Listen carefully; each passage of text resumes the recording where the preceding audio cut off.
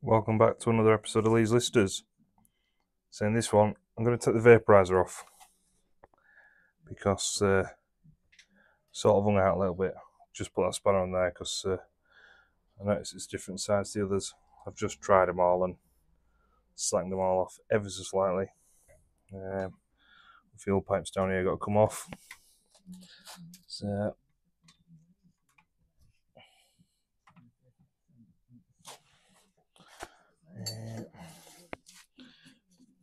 my spanners this time because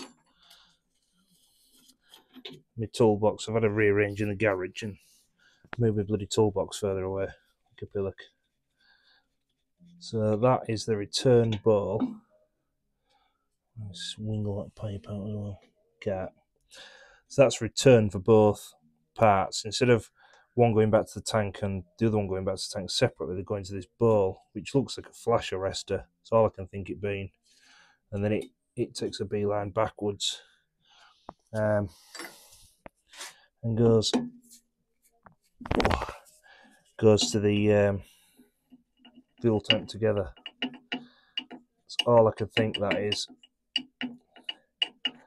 Obviously, I'll get it stripped and have a look. that's the fuel side's completely taken off. I'll take that one off as well because fitting everything's coming out that one. I can see that getting knocked. Bloody thing, gone. on. Take that, that off there.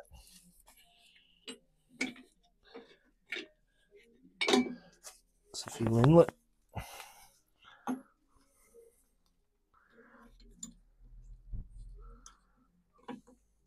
Oh, absolutely chocker of rust. Oops, that's not good.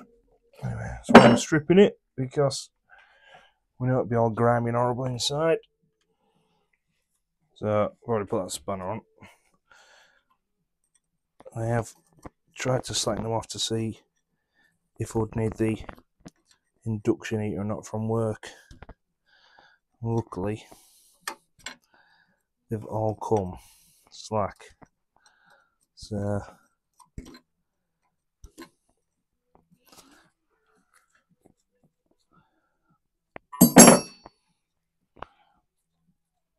get them off without that would be bonus. So what I'm going to do is go down underneath, take all the underside ones off.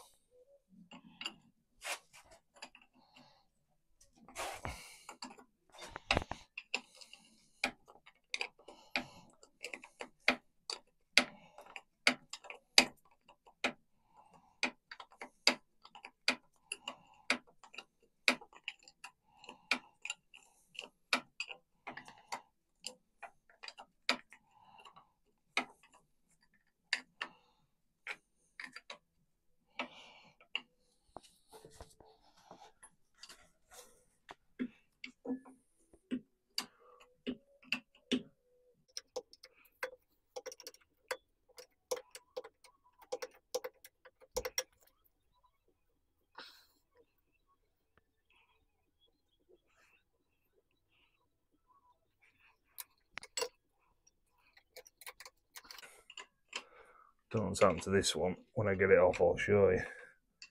But uh, there's one or two like in this engine where it's like it's been dripped on, but then the nut next to it is perfectly fine. One of these, gnarly and horrible. These two, yeah, they're a bit the same, which suggests it's run down there. But then this one over here, which I'm undoing, maybe it has been on there and it's been vaporizer's been off at some point and it's been put back somewhere else. Go.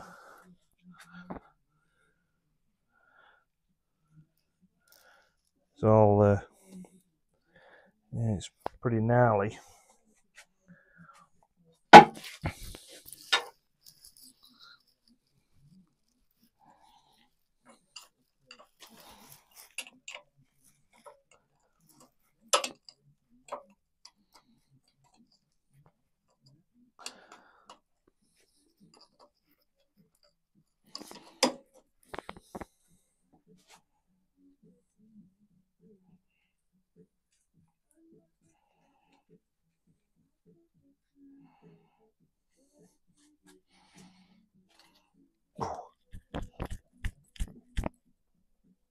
Oh, I bet it was going to snap.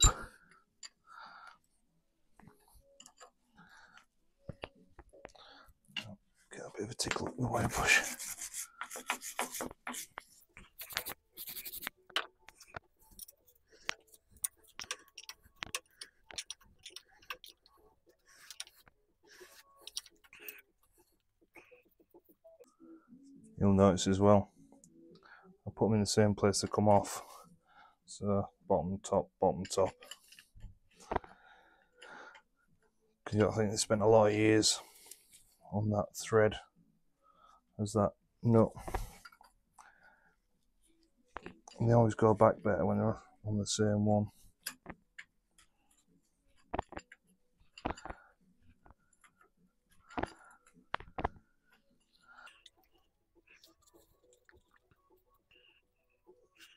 Right, just I take the last one off, I'll just check there's no else. There's no clip at the top of the throttle to take off. Both fuel pipes are off. Literally have this one. The whole vaporizer should, should come off. How well, I don't know. It's not falling off, so it's a bonus.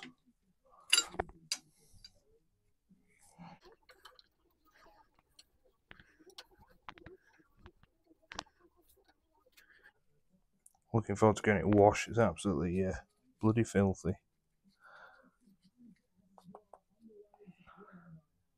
Right.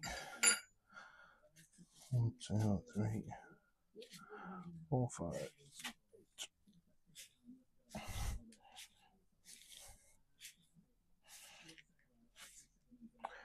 We get a rubber rubber tapping stick.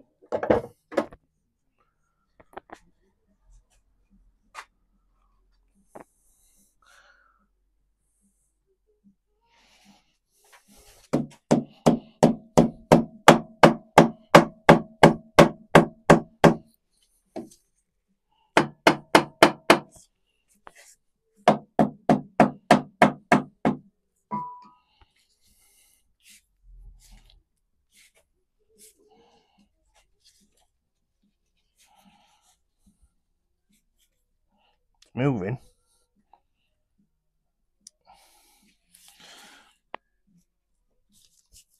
Inlets are anyway.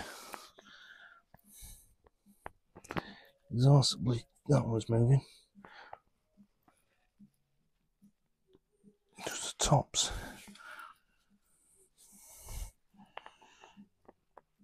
Don't want it to go and me not be expecting it.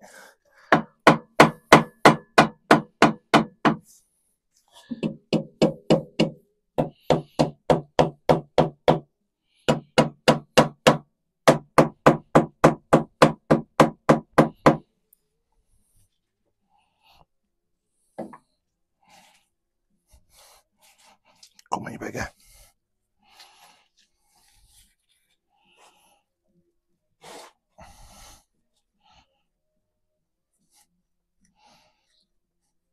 Go in.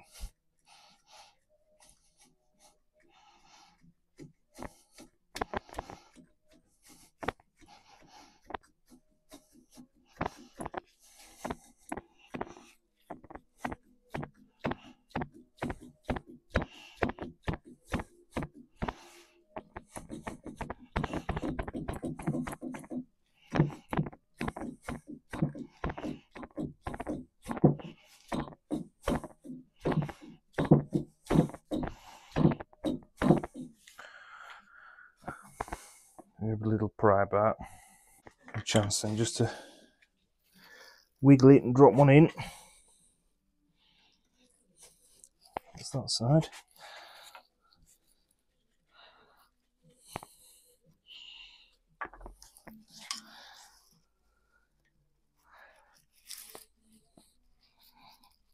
It's stuck on that top flange. I'm gonna break it off. Bit of shite in that stud. It's coming.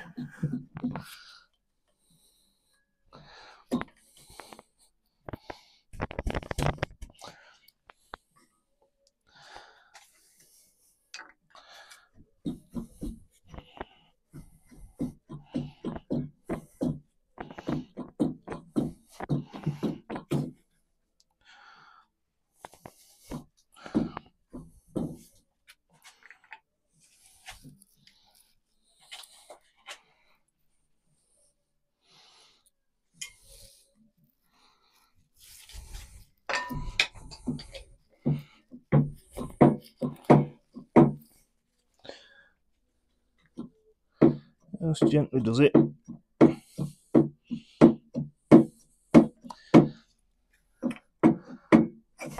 there we go, one side. There we go. Whoa. There it is. Back of the manifold. It's bloody heavy. I'll just carry it over here. Put it down. Gently. And uh, there's the two. Oop. Bloody tripod. What a pain. There's the two heads. Manifoldless. Yeah. It's uh, good to see that. They've got their nice original gaskets on. Um, which actually don't look in bad nick. That's the valve that's stuck. About uh, rust in it. See if I find torch.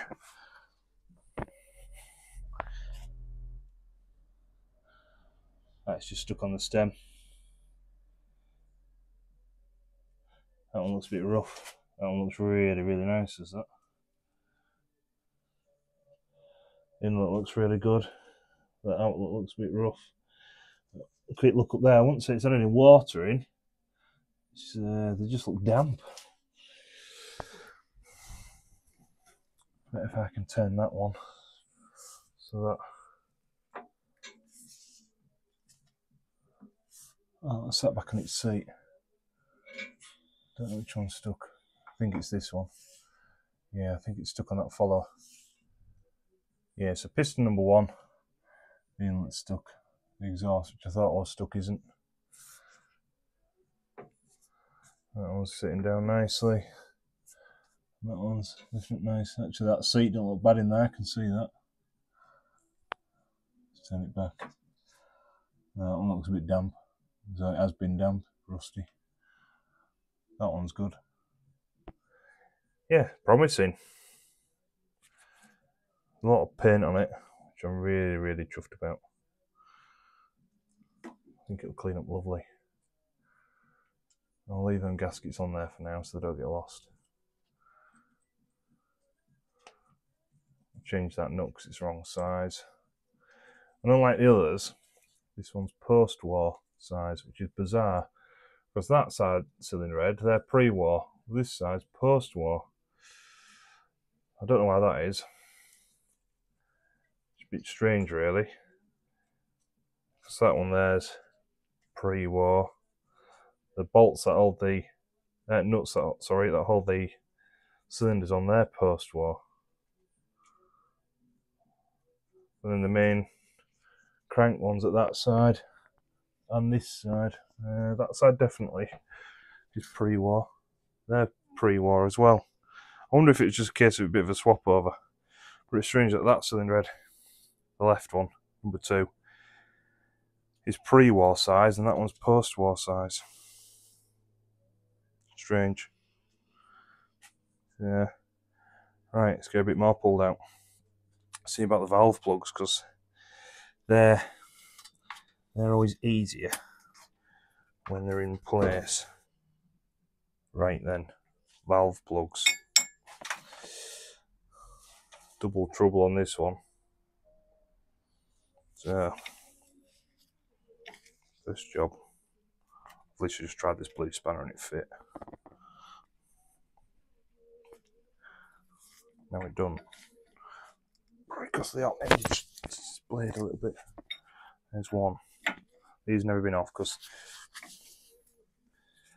the uh, paint's still on. Tackle that one out the wing end. There's two.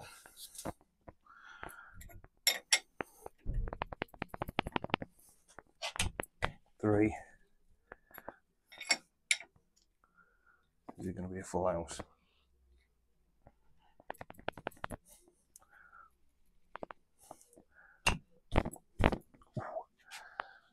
At the end of it.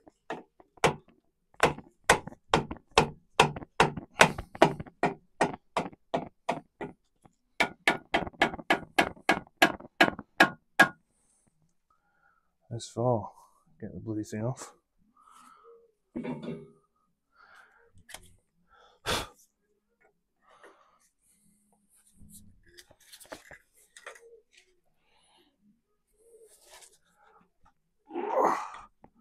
Jeez.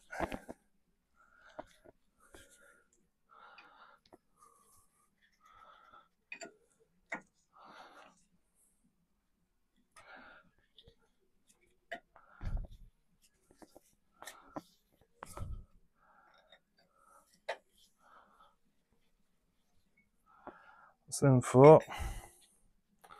Try these four. Must admit, I did cheat a bit the other day. To try one or two to see if they come loose. I was twitching to get the spanner chucked out, you see.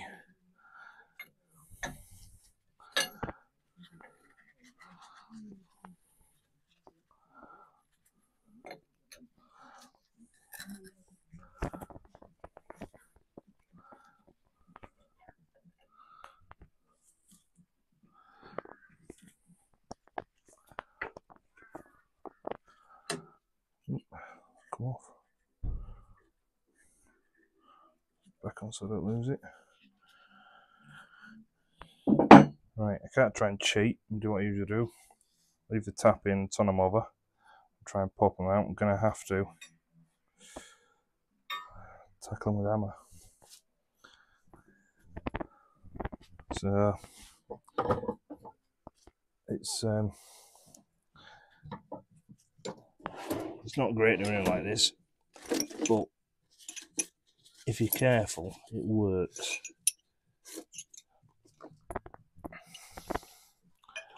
So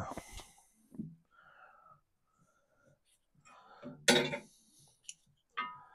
got three snap-on chisels. So this is the smallest one. So I use snap-on ones because of the taper. They're a lot shallow in, in the taper here. And they have quite a nice shallow taper in the in the wedge. If you're really really careful, you can just tickle them under. And it's a case of a little bit here, a little bit there.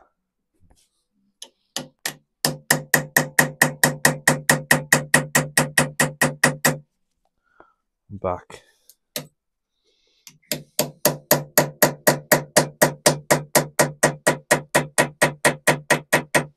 Too much in one spot, you'll break them.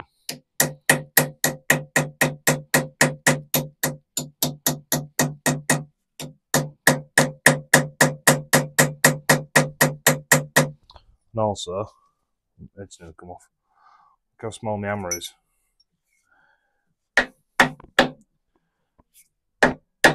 It's easier. Lots of little knocks.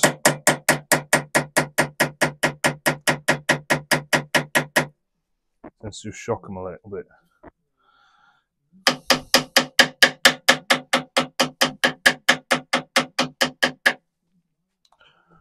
rather than going at them hell for leather with big hammer.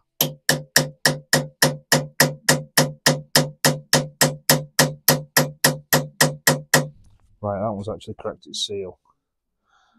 That's the next next one up. Just tap it from this side, so like that one's now loose.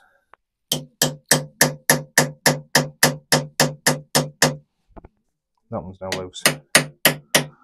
Gently tappy tap.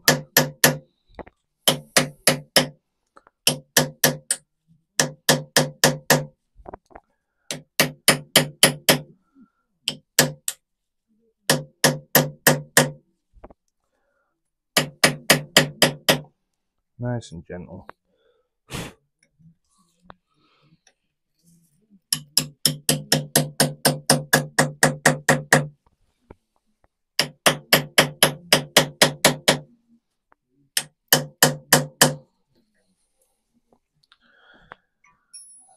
The next size because that one's got too small. The big one's often just a bit too big. do two of these middle ones really.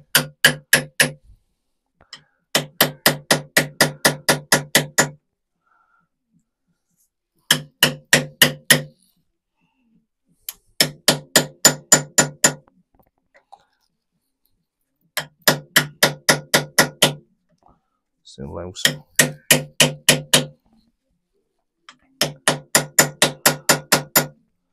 that, that's gone tight. Probably took them two off now.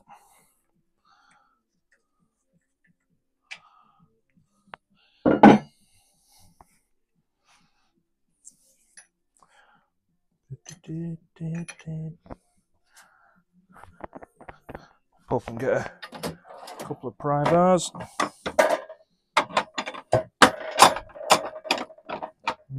Two the same. Same old place, corner to corner. There we go. Right, that's never been off. I know that because the gasket's got paint on. Going to blade, chop it off.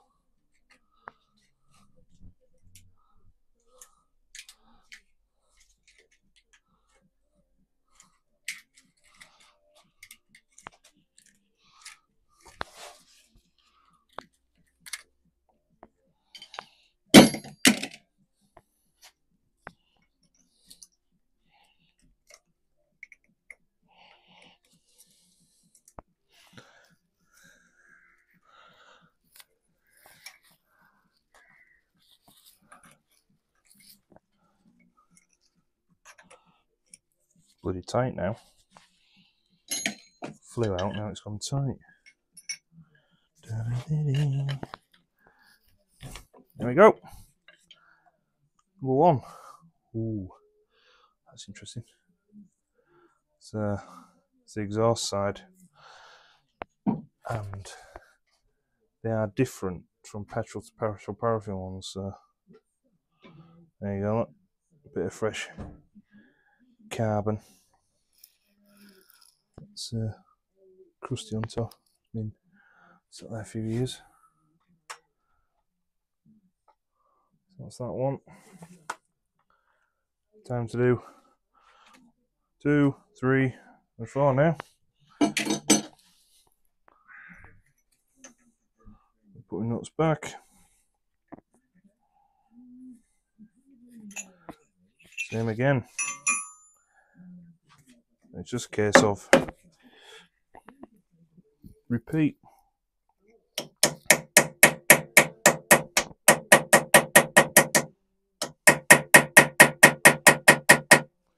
Squeeze it under.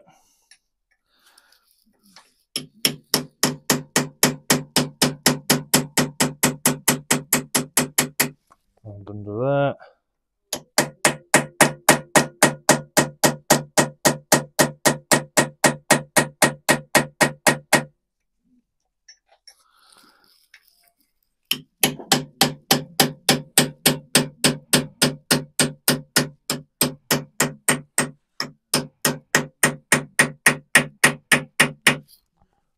Leave that one in because I've got it stuck at that side. Sometimes you do with them ones.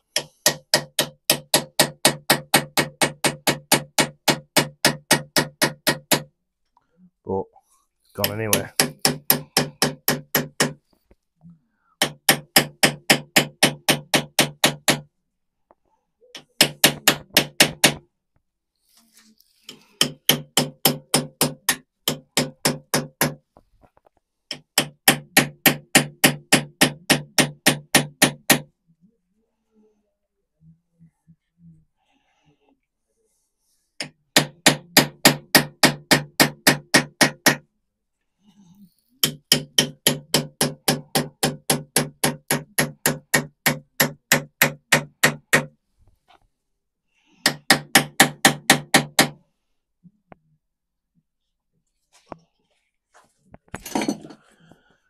It's not coming apart as well as what the other one. Two hours later.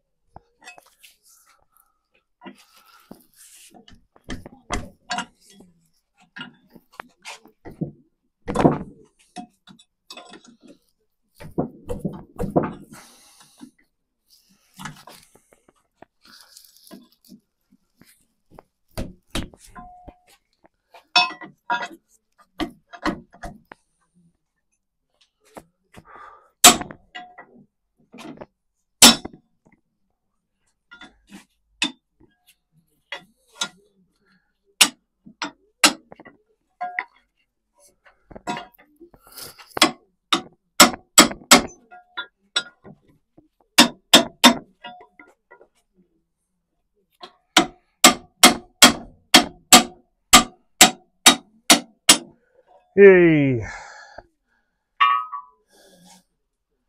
So yeah, that's the last one. There we go. Can't really see it on the camera. So that one's only taken me. Well, getting that one out wasn't too bad. That was a chew. And then uh, see what's left of the gasket. Not a lot. The last note. I think it's taken me four hours in total. The problem is, I can't find anything. So, you'll see. Thick with carbon. Acts like a bloody super glue. Uh, and the problem with that one, the only way is brute force and ignorance. That's the valve plugs out. Dropped a nut somewhere. Chris knows where it's gone. It rolled off into the abyss, never to be found again.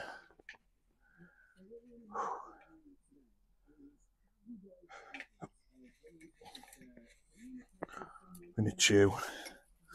I'm frigging knackered. I'll show you this as well.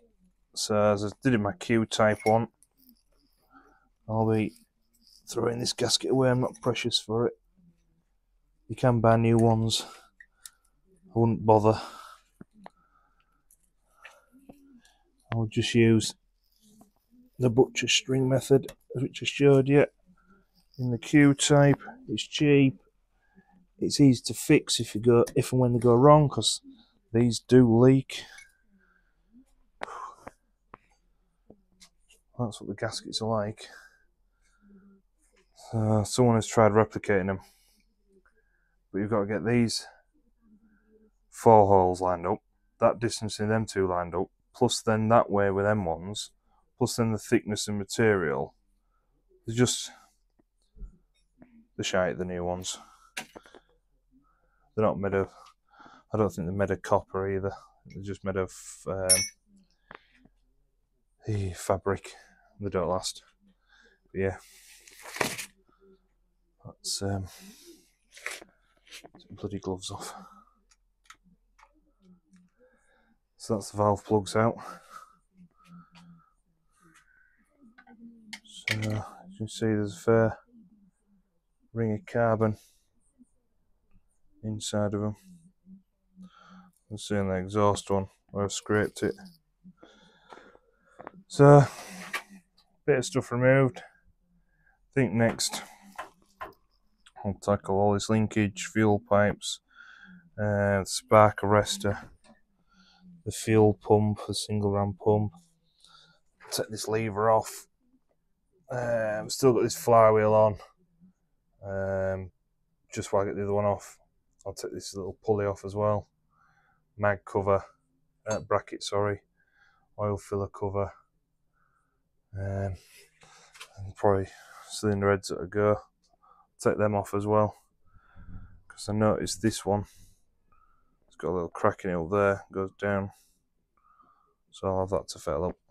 Plus, the guarantee in there be absolutely gummed up with shit. Show the sneak peek of the uh, inside.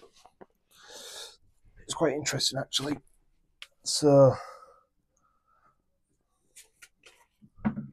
we have. Let me just move some stuff so I can turn it over. What's the two pistons? And then in the bottom of here, see about on this side, there's little wells which the oil for the big end dipper is is in, and then the oil from the oil pump is pumped into them. So they must be full all the time. It overflows out of them into the bottom, which then flows through. Get to focus up there into your overflow um, filling point, It's my filling point, and then back through the very hole in the bottom. You just see it.